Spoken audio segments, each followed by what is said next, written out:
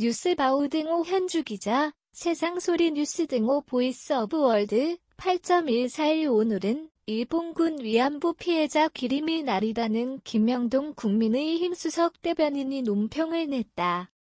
8.151 경축사에서 윤석열 대통령은 김대중 오부치 공동성명을 계승해 한일 관계를 복원하고 보편적 가치를 기반으로 과거사 문제를 해결해 가겠다고 말했다.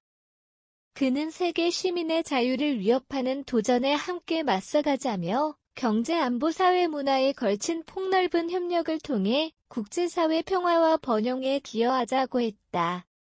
이날 대통령을 향해 한일 관계 개선 얘기만 하고 해결되지 않은 역사와 위안부 문제에 한마디도 없으신가 라는 이용수 할머니 비판을 연합뉴스가 옮겼다.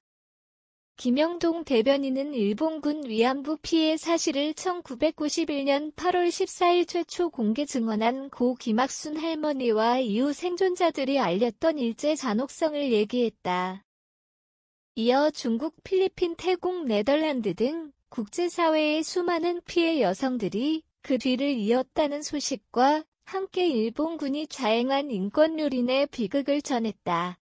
일본 정부에서 위안부가 없다고만 하지 마라.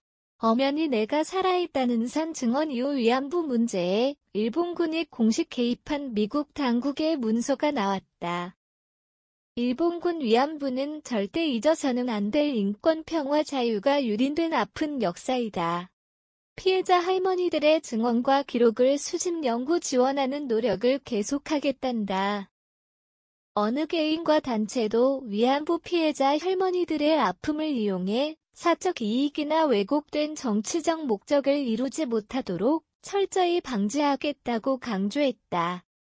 하지만 역사 교훈을 깊이 새겨 세계 평화와 번영에 힘써왔다는 기시다 후미오 일본 총리 발언과 일부 강요에 전범 합사된 야스쿠니 참배 외신이 전해졌다.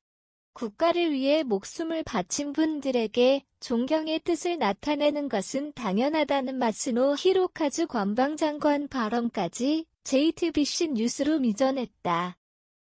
이용수 할머니는 유엔 고문 방지위원회의 위안부 문제를 회부해주는 일이 윤 대통령이 말한 자유인권 법치라는 보편적 가치다는 뼈아픈 지적을 냈다. 정부 등록 피해자 240명 중 현재 생존자가 11명이다. 역사의 진실 인권과 자유 평화의 외침을 국제사회에 널리 알리겠다. 고 김영동 대변인이 전했다. 현주 기자 사코파워 앳 아웃룩 캄루지바우.com